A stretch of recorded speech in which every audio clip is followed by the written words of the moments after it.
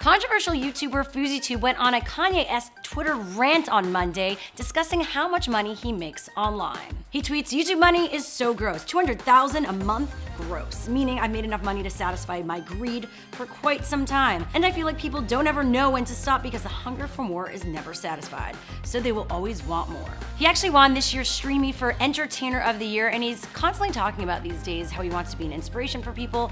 And he is a friend of mine, so kudos to FouseyTube for uh, talking about this subject matter, which a lot of people feel is uncomfortable. And his tweet sparked quite the conversation. Of course, Phil DeFranco had to step in and talked about the money he's making. He says that he makes around $200,000 a year from his show. And of course, because these are all emerging platforms, people have always been interested and intrigued and curious about how much money stars do make. And Forbes estimated who made the most in 2015, with PewDiePie being at the top with $12 million.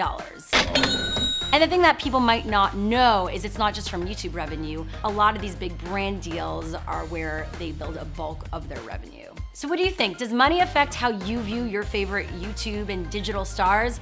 Let us know in the comments below, like and subscribe for more of What's Trending.